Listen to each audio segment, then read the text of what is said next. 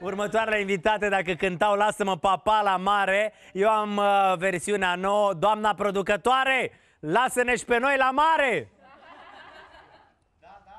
Ce? A zis ceva? Ce a zis Șucă? Eu am zis da. N-a zis Doamna da? producătoare a zis nu.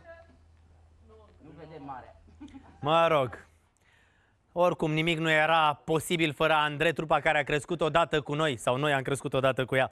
Apoi, cele două Andrele s-au despărțit, iar acum s-au reunit și Raluca Boloș i-au vorbit.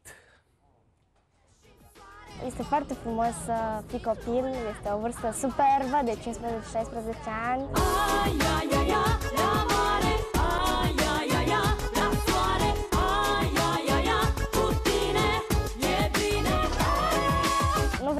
vreau să mă maturizez, nu vreau să cresc.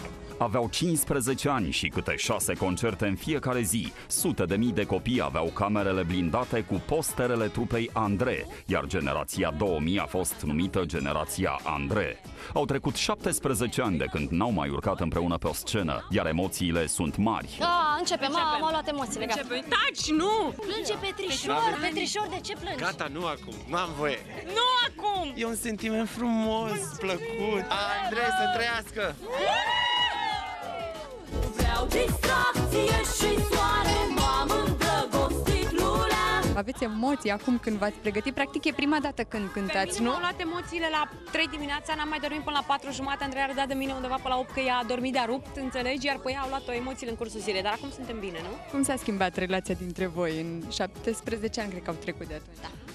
Nu putem să spunem că noi uh, ne-am rupt total. Întotdeauna când a fost uh, vorba de situații critice între noi două, am fost una lângă cealaltă și am cerut ajutorul celeilalte. Întotdeauna am considerat că Andreea este prietena mea, dar după 17 ani o simt aceeași chimie între noi două și credem că nu e doar de dragul camerelor sau al, uh, al proiectului.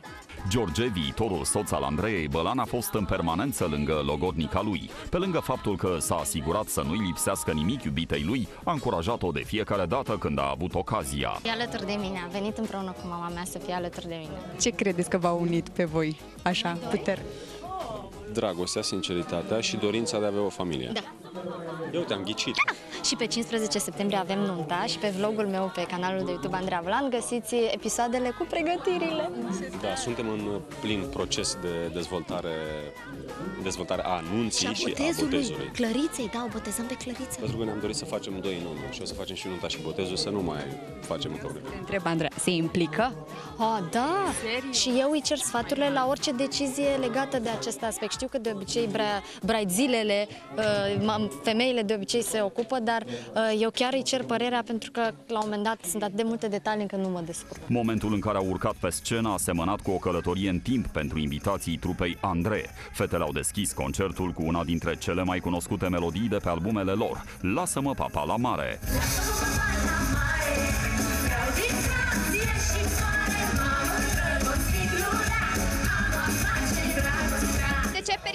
Vieții tale îți amintește Andrei?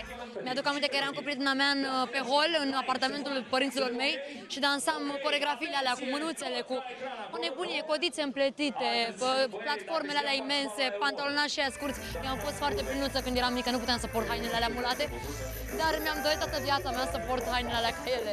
Cred că am prins ceva de la maica mea mai mult decât orice altceva, dar mi-a explicat cât de mari erau pe vremea aia și acum ar fi un echivalent, cum ar spune, gen Justin Bieber, dar de România. Aveam avion particular, dacă nu mă înșel, mă înșel din câte știu. Și singurele artiste care, băi, umpleau sările, veneau, au fost, ce să zic, super. Și m-aș bucura din suflet să aibă același succes în continuare. Eram uh, destul de mică, aveam vreo 10-12 ani și țin minte că îmi plăceau atât de tare încât țineam concerte în spatele blocului pe garaje. Și toți vecinii mă înjurau și aruncau cu apă pe mine să plec de acolo. Bine, nu eram doar eu, eram cu încă o prietenă. Ne credeam Andrei. Aveai și tu trupă. Aveam trupă, da, da, da, exact. M-am întors în timp și mă simt uh, tânără și plină de energie. Acum mi se pare wow când mă gândesc că și, nu știu dacă erau legende, dar ele mergeau cu elicopterul la concerte la un moment dat. Adică au fost uh, niște vremuri uimitoare ale muzicii.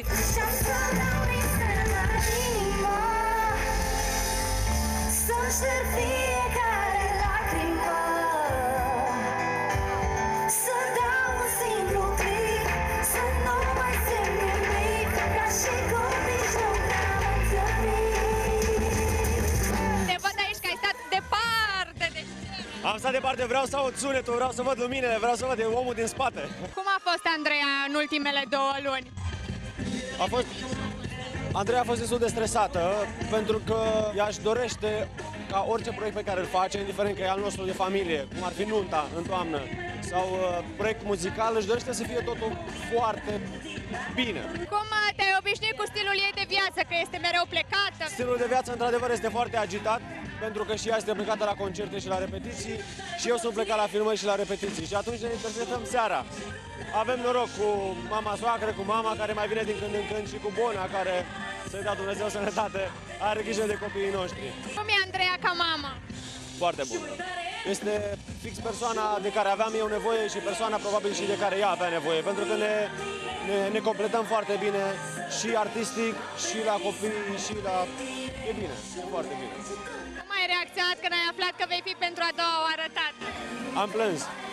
Am plâns și prima oară, am plâns și a doua oară, pentru că îmi doream foarte mult. De la eveniment nu au lipsit nici fanii Andrei, care între timp au devenit părinți. Dar pentru că susțin cu tărie că le iubesc pe fete de când s-au lansat, i-am supus și noi la un test. Care e prima piesă pe care au lansat-o? Noapte de Noapte de vis. a doua? Uh, liberă la mare, da. De câți ani nu mai cântă împreună? De 20. 18. 18. Uh, care este culoarea preferată a Andrei Bolan? Turcoaz. Când urmează nunta? Septembrie. 15. Și botezul? Da, pe 15.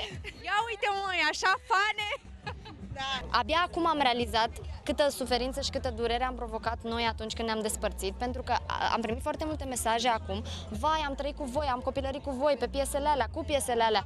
Și acum am realizat, vai, oamenii ăștia chiar au suferit la vremea respectivă. Noi atunci ne-am certat, ne-am dep- separat, ne-am despărțit și nu am realizat, am avut orgolii, ne-am văzut de drumurile noastre. Patru ani de zile, șapte albume, un milion jumate de albume vândute, reginele muzicii din România, am primit 5 discuri de platină, unul de aur. E, pot să spun asta la Pro TV? Zi, zi, e, zi, că că mâine de nu o asta să mai ta. pot să pun. Da, spun așa. Am aveam foarte multe concerte, într-adevăr, și foarte... Eram tot timpul pe drumuri și noi nu simțeam succesul. Noi eram obosite, eram tracasate, eram tot timpul pe drumuri. Sunt momente când am vrea și noi să fim singuri, am vrea să fim liniștite la o masă, să stăm, să vorbim, eu să vorbesc cu Andreea, cu mine, uh, dar din păcate nu prea se poate. Uh, pentru noi a fost foarte greu, noi, noi nu am trăit copilăria și poate și de-aia ne și ciondăneam și de-aia s-a și produs ruptura. Succesul pe care voi l-ați văzut din exterior la vremea respectivă pentru noi a fost copleșitor.